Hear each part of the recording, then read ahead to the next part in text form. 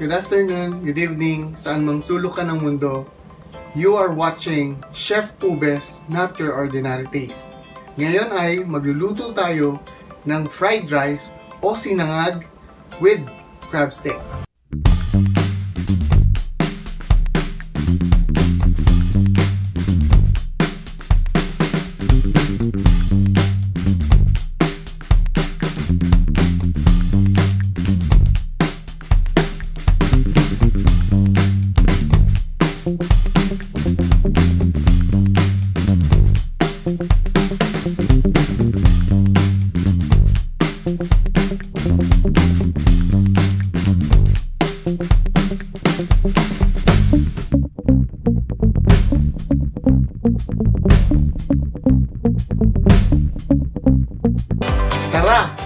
Luto na tayo. Una, syempre, papainitan muna natin yung kawali. Then, susunod natin yung oil.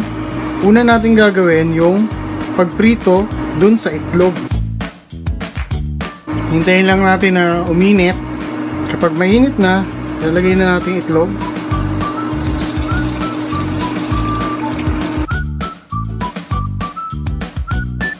Kapag malapit na siyang maluto, ngayon ay paghiwalay-walay mo lang siya.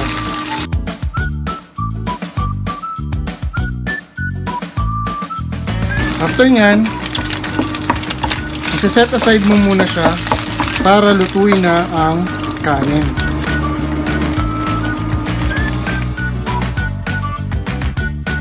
So same na lagayan niya, isusunod natin ang bawang.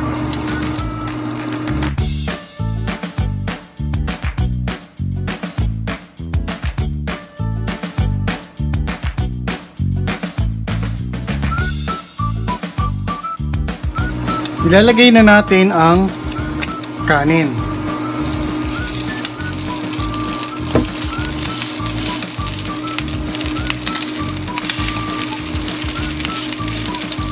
Piga-pigain mo lang siya para maghiwalay-hiwalay yung kanin.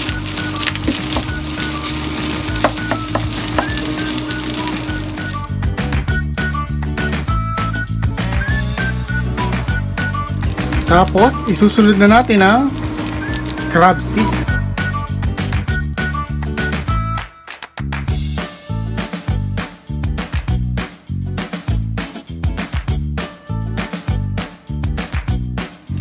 Tsaka natin ibabalik ngayon ang itlog.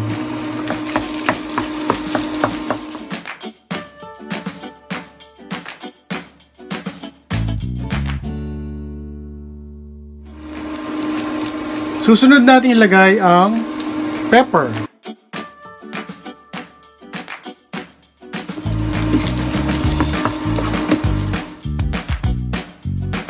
Susunod na natin ngayon ang asin.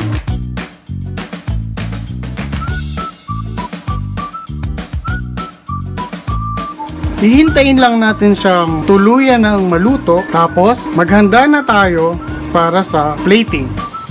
Pwede natin siyang i-serve sa gilid o sa gitna o pwede rin sa bowl.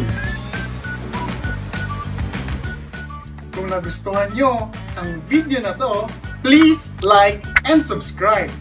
At kung meron kayong gustong ipaluto, please comment below.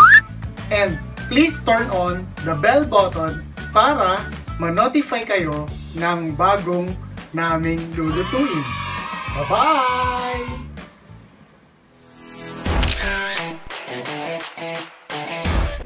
Shout out nga pala sa ating mga kaibigan dyan.